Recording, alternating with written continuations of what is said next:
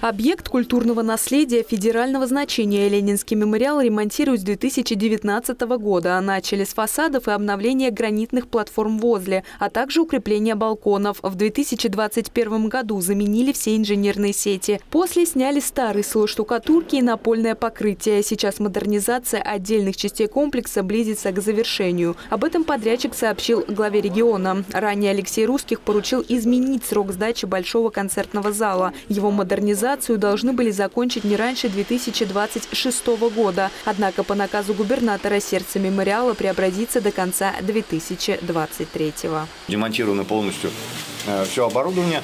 В этом году будет э, выполнены работы по части заливки э, и части заливки и установки светильного оборудования, осветительного оборудования, которое будет отреставрировано тоже в этом году.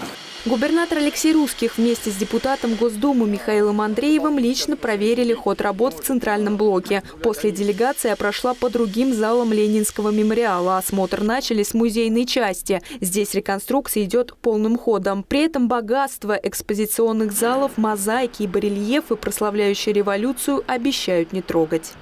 Работы выполняются сейчас по замене, полностью замене полов, инженерной части музейного комплекса и подготовке к музейной, э, к музейной экспозиции. Параллельно идет ремонт общественно-политического центра и башни. Здесь, со слов подрядчика, работы завершены на 90%. На данном этапе строители укладывают напольную плитку, завершают отделку стен. Закончить масштабную многолетнюю реконструкцию намерены к 2025 году. Александра Никитина и Сергей Кудаков. Управда ТВ.